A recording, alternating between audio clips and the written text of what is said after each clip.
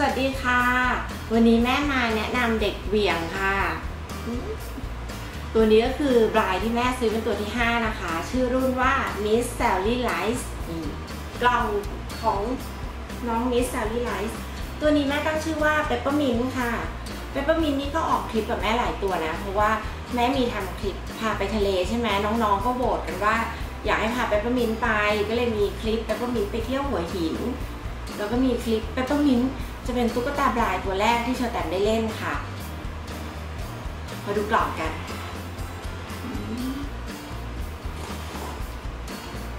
เปปเปอร์มินนี่เขาเอ่อ Miss Sally Rice นะชื่อรุ่นนี้ชื่อรุ่นเขียนตรงนี้นะคะเอ่อรุ่นนี้ออกสไตล์เรโทรค่ะ จะแฟชั่นอารมณ์เรโทรสีอะไรประมาณ ก็จะประมาณเรโทรแบบมีลายจุดๆอะไรประมาณนี้นะคะ แล้วก็ดอกไม้ สีสวยเนาะกล่องก็แบบสีชมพูเขียว สวยๆแอบมีแมวตรงนี้ด้วยนะ เหมือนชุดเขานะคะ ชุดเขาก็มีแมวมาดูกล่องรอบ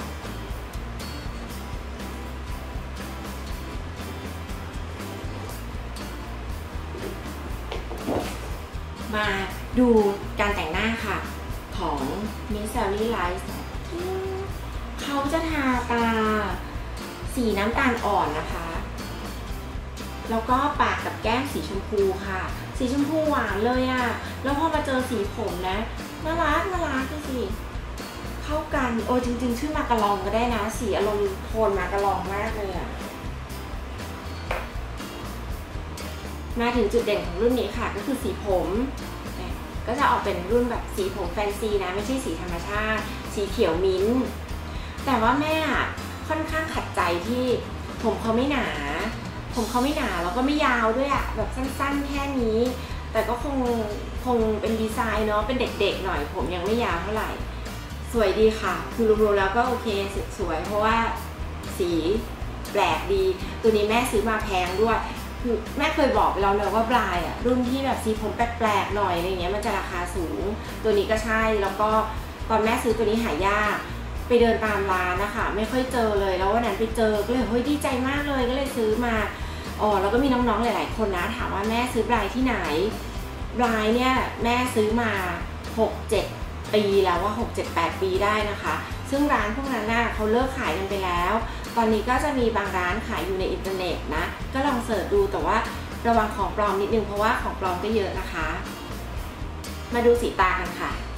พวงกดก็เป็นสีนี้นะสีขาว ก็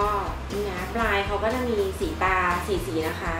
นะแม่กดตรงนี้นะคะ ดึงหัวเปลี่ยนสีสีชมพูอ่อน สีเขียว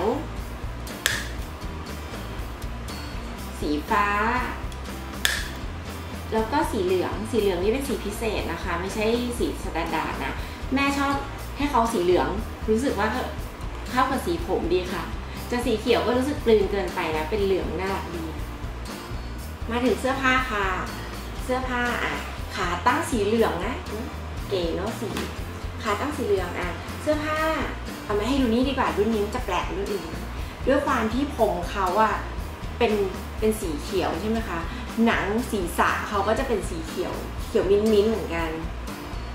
เขาก็ทำดีนะ คือแบบเขาจะทำให้หนังหัวหนังศีรษะเนี่ยสีกลืนกลืนๆกับผม มันก็สวยดีค่ะ มันเวลาเห็นแพรมๆมันก็เหมือนจะไม่เห็นอะพลางพลางๆตาได้ มาถึงชุดกันรุ่นนี้แม่ชอบชุดนะคะ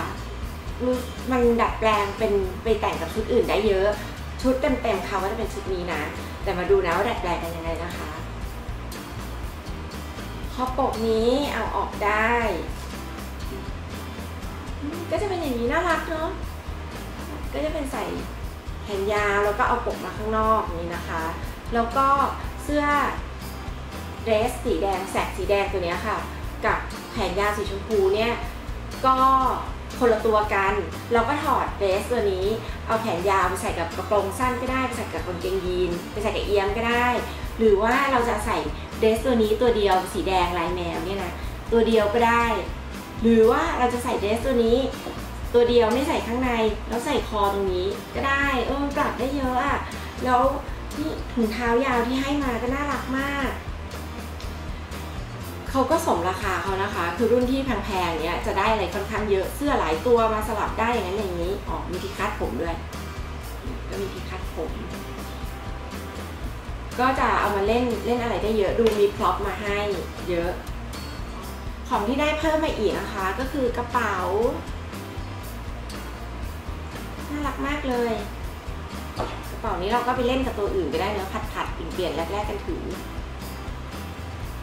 แล้วก็รองเท้าค่ะ รองเท้าก็สไตล์เลโทรนะ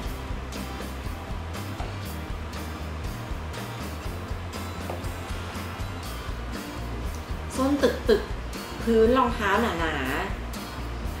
แม่ไม่ได้ใส่ให้ เพราะว่าพอใส่ถุงเท้าคู่นี้แล้วนะคะหนะเท้าเขาหนาใหญ่มากอะ่ะ ใส่รองเท้าเมื่อกี้แม่ยัดไม่เข้าก็เลยไม่ค่อยอยากไม่ค่อยอยากไปฝืนอะไรมาก ก็เอาไว้ใส่เวลาเขาใส่ถุงน่องหรือว่าใส่รองถุงเท้าบางกว่านี้หน่อยแล้วก็มาถึงเรื่องนิสัยค่ะ ของสาวคนนี้